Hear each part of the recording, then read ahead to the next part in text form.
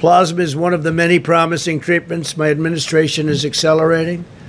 We've secured over 90% of the world's supply of remdesivir, which is terrific, an encouraging antiviral drug that can effectively block replication of the virus.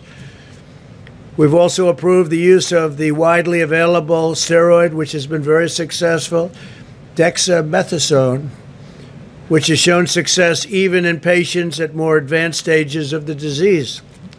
On July 17th, we announced a $450 million agreement with Regeneron to build manufacturing plants and hundreds of thousands of doses of its antibody treatment, which is currently in late stage clinical trials, moving along very rapidly.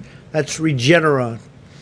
As a result of such significant strides in treatment, the mortality rate in those over the age of 18 is 85% lower than it was just in April. So, in a very short period of time, think of that uh, just 18, 85% lower than it was in April. It's a big statement.